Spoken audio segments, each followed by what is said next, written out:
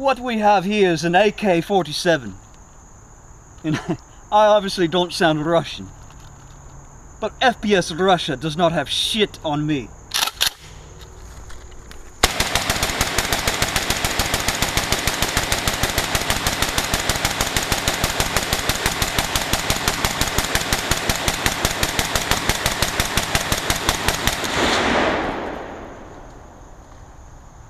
Wait for it. It's not gonna fall. Aw.